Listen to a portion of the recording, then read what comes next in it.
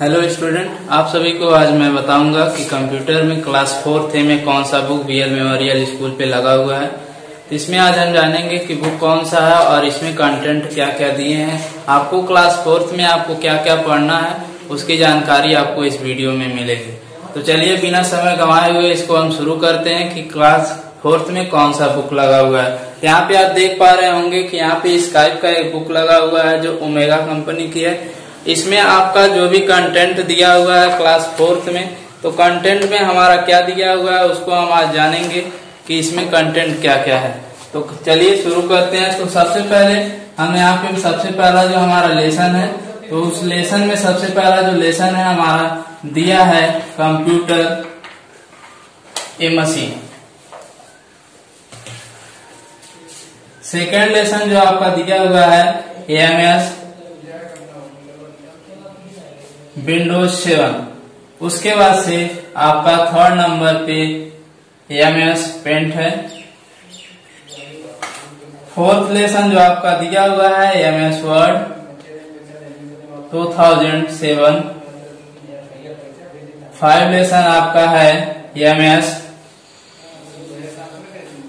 Power point 2007 उसके बाद से लास्ट जो आपका लेसन दिया हुआ है इंटरनेट तो क्लास फोर्थ में, जैसा कि यहाँ पे आप देख पा रहे हैं क्लास फोर्थ में जो लेसन दिया हुआ है, ये आपका सिक्स लेसन है। इन सभी लेसन के बारे में हम जानेंगे। एक एक वीडियो एक एक करके आपको मिलता रहेगा। और जो भी वीडियो मिलेगा आपको डेली बाय डेली एक टाइम पे आपको आप बता दीजिएगा कमेंट करके कि किस टाइम पे आपको यह वीडियो चाहिए कंप्यूटर का।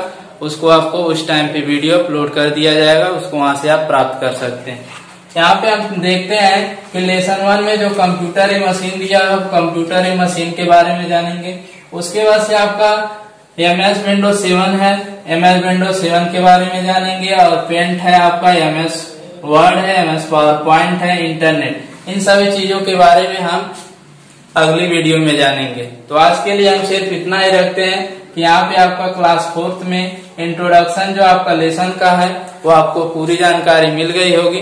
इसमें क्या क्या आपका कंटेंट में क्या क्या टॉपिक है क्या क्या हेडिंग है, उसकी वीडियो आपको मिलती रहेंगी। और इस और जो भी आपका वीडियो है, उस कंटेंट में, जैसे कि आप यहाँ पे देख पा रहे होंगे, यहाँ पे आपको दिखाई दे रहा होगा ये आपका कंटेंट है। इस कंटेंट में आपको क्या क्या टॉपिक है इस तरह से आपको टॉपिक बता दिया जाए तो टॉपिक के लिए आप इसको, अगर आप चाहते हैं तो इसका एक टॉपिक अलग से वीडियो बन जाएगा, लेकिन इसमें जो भी आपका कंटेंट में जो टॉपिक पढ़ाया जाएगा, उसको एक एक करके पढ़ाया जाएगा। इससे आपको कोई दिक्कत नहीं होगी। तो आज के लिए सिर्फ़ इतना ही। है। मिलते हैं अगले वीडियो में।